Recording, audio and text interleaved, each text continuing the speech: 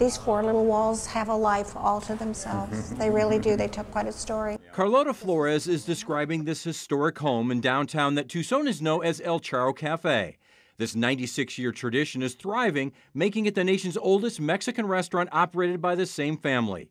Carlotta's aunt started the business in 1922. Tia Monica also began a legacy of strong female ownership. She had this cooking skill and borrowed some money from her sister and opened her first El Charro on 4th Avenue. And then from there grew to the Temple of Music and Art and then to her building on Broadway.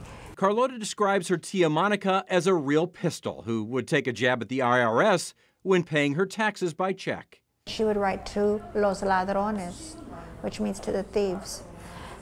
They would write, they would endorse it, los ladrones, and cash it and get their, their money. Monica Flin was also an amazing cook, but urban renewal came in the 1960s and Tia Monica was forced to relocate to her family home on Court Avenue. In the early 1970s, Carlotta and her husband Raymond moved back to Tucson from California to take over the restaurant. We'd already done what people do. They go away for a while, right. time to come back home. So we came back home and we've been here ever since. At 72, Carlotta still has the same passion and drive that she did when she took over El Charro in the 70s. The only thing is that today I get a little bit more tired.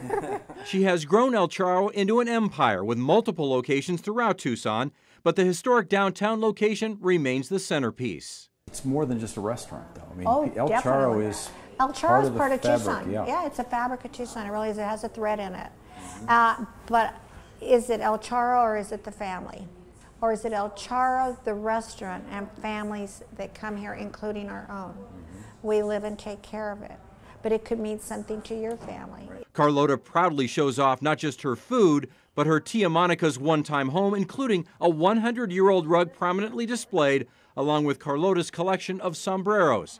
And yes, El Charro still dries the carne seca on the roof before it eventually winds up in your chimichanga. Carlotta still proudly tells the story of being present when Tia Monica famously and accidentally created the chimichanga. We were in the kitchen and she was making a snack for all the kids and the fryers had, were still hot and one of the little girls pulled her nightgown and she accidentally, the, the burro fell into the vat of oil and she went to say a cuss word and then realized she had all these children and quickly changed it the way grown-ups do and she went and said her chimichanga and called it that. By the time she found a pair of tongs to take it out, it was crispy and fried. And tell me, who doesn't like fried foods? So this chimichanga looks delicious. Uh, is it a form of flattery to you that others have tried to say that they invented this first or, or? I love it. but I love it no matter what. I love the fact that it creates conversation. Mm-hmm. I will let you know that I've eaten an entire one before of yours, but uh, it comes at a cost. It's a It- full stomach. It is a full Yeah. stomach, and you know you But can they're take so a, good. You take a little bit home, and yeah, that's what people so do. delicious.